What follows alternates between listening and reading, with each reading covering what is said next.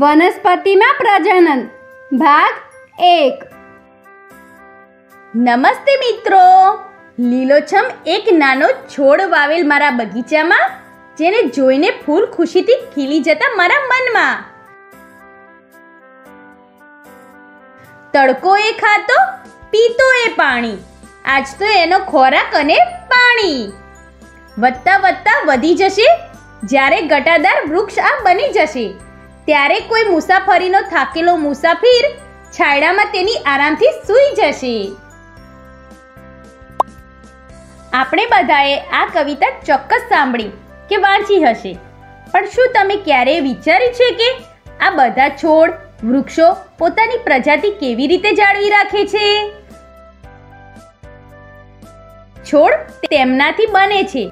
આપણે બધા એ તો જાણીએ છીએ કે પરંતુ પહેલા બીજ આવ્યું હતું કે છોડ. આપણે એ તો જાણીએ છીએ કે આપણે આપણા માતા પિતા જેવા દેખાઈએ છીએ. પણ શું તમે ક્યારે એ વિચાર્યું છે કે છોડ, વૃક્ષ ફળ પાંદડાઓ પણ તે જ છોડ અને વૃક્ષ જેવા દેખાય છે? જેમાંથી તે ઉત્પન્ન થયેલ છે? વનસ્પતિમાં પ્રજનન કેવી રીતે થાય છે? તમે અગાઉના ધોરણમાં વનસ્પતિના વિવિધ ભાગો વિશે અભ્યાસ કર્યો હતો. તેમાંથી ફૂલ વનસ્પતિનું પ્રજનન અંગ હોય છે, પણ જે વનસ્પતિમાં ફૂલ નથી હોતા, તે કેવી રીતે પ્રજનન કરતા હશે? ચાલો, આપણે આ વિડીયોની મદદથી આ જાણવાનો પ્રયત્ન કરીએ.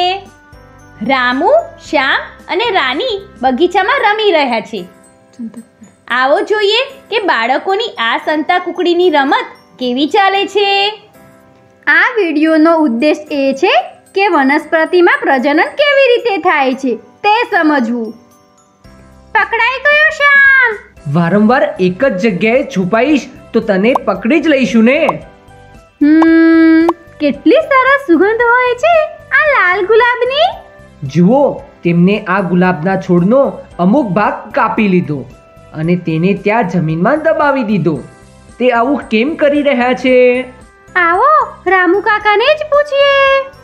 નમસ્તે રામુ કાકા.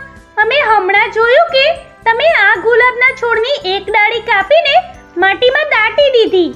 અમે સમજી નથી શકતા કે તમે આવું કેમ કર્યું? બાળકો ગુલાબની ડાળીનો એક ભાગ તોડીને મેં જમીનમાં દાટી દીધો છે.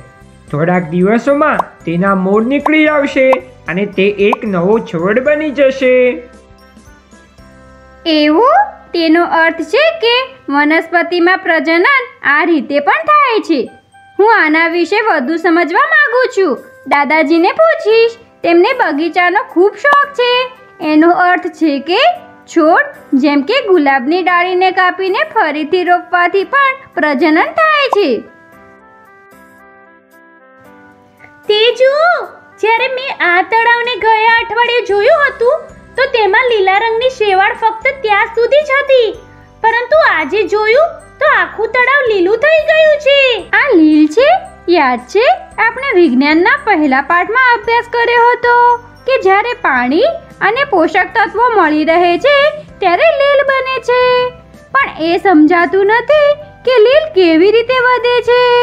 કેવી રીતે જાણીએ? હેરાન ન થાવ બાળકો. હું જણાવું છું. હું આ તળાવને ઘણા વર્ષોથી જોઈ રહ્યો છું. લીલ અવખંડન દ્વારા પ્રજનન કરે છે. લીલ બે કે તેથી વધુ તંતુઓમાં વિભાજિત થાય છે.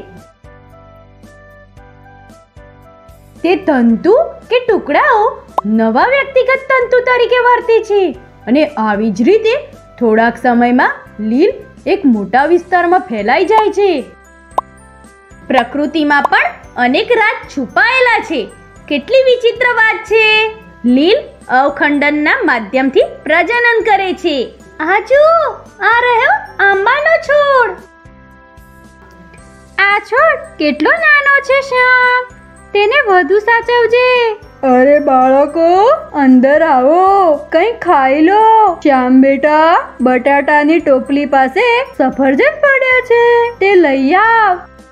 હા, મમ્મી, ચોક્કસ. પણ બટાટા પર સફેદ અને લીલા રંગનું શું છે? રામુ અને રાનીને બતાવું. આ જુઓ, આ બટાટા પર શું છે? લાગે છે કે ખરાબ થઈ ગયા છે. મેં આવું ઘણીવાર જોયું છે. જ્યારે બટાટા જૂના થઈ જાય છે, તો તેના પર આવી કલિકાઓ દેખાય છે. મમ્મીએ જણાવ્યું હતું કે તે બટાટાની આંખ હોય છે. બટાટાની આંખ? બટાટાને આગ ક્યારથી આવવા લાગી? હા બાળકો સાચું જણાવ્યું છે રાનીની મમ્મીએ. અને બટાટાની આંખ જ કહેવાય છે. તમે બધા આ બટાટાની સાથે પ્રયોગ કરો ત્યારે તમને ખ્યાલ આવશે. કેવો પ્રયોગ મમ્મી?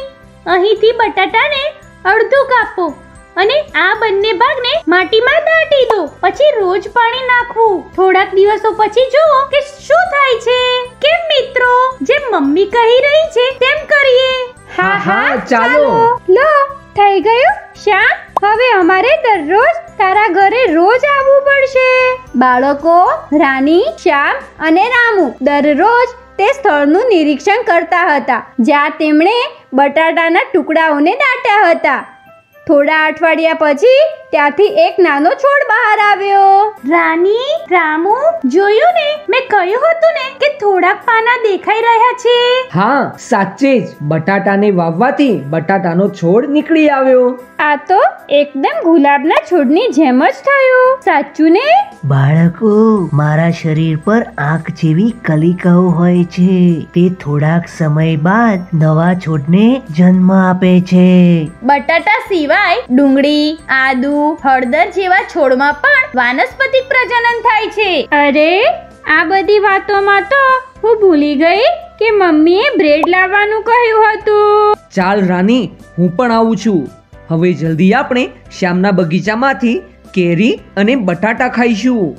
અરે આજો રામ આ બ્રેડ પર તો ફૂગ લાગેલ છે. આલો અને ફેંકી દો. જાણે છે રામ આપણે બ્રેડ ખરીદતી વખતે હંમેશા ધ્યાન રાખવું જોઈએ કે તેના પર ફૂગ ન લાગેલ હોય. પરંતુ આ ફૂગ બ્રેડ પર આવી કેવી રીતે? ચાલ પહેલા ઘરે જઈને મમ્મીને બ્રેડ આપી દઈએ. પછી તારા પ્રશ્નનો જવાબ વિચારીશું. કેટલી અનોખી વાત છે ને મિત્રો કે ફૂલ વગર પણ આ બધી વનસ્પતિમાં પ્રજનન શક્ય છે. ગુલાબ અને બટાટામાં વાનસ્પતિક પ્રજનનથી, લીલમાં અવખંડન દ્વારા અને ફૂગ કલિકા સર્જન દ્વારા વધે છે. મને તો વનસ્પતિમાં પ્રજનનની પ્રક્રિયા વિશે વધુ જાણવું છે.